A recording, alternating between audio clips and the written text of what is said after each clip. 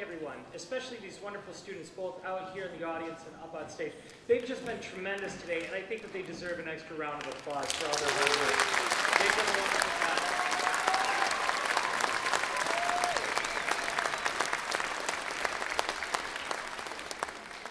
I want to let you know that this is a very, uh, this is just really an incredible event that, uh, that your directors put on here in Huron Valley for these students. And uh, I just want to kind of reiterate something that I've been telling the students that their music education should not end when they uh, finish their middle school years, that it should continue all the way through high school. And you as parents need to be there behind them and supporting them and encouraging them because trust me, when they get to high school, and I know that uh, if I was Mr. Green and Miss Sarah looking at all these talented musicians sitting here and hearing this enthusiasm, just wonderful music that they're making, then I'd be chomping at the bit to have those students in my rehearsals and to see what incredible music that they make when they get to the high school level. So please encourage your students to continue on. They're doing a wonderful job. Miss Mrs. Fitzpatrick and Mr. Huggaboom and uh, Mrs. Blanchard, they're doing just a fantastic job, and I'd, I'd like to give them a round of applause for all their hard work of putting this on too.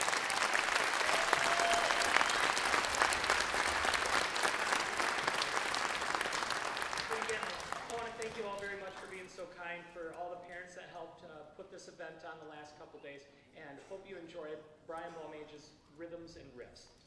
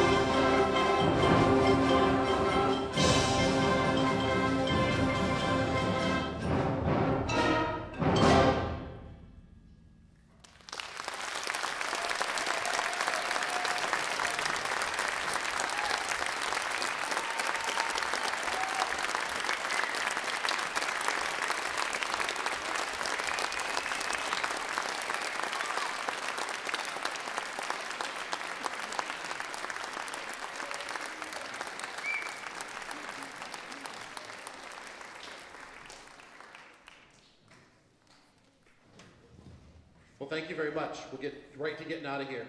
Um, all the White Lake students, their stuff's down in the band room, so they're gonna head that way, and they'll probably be just happy to meet you in the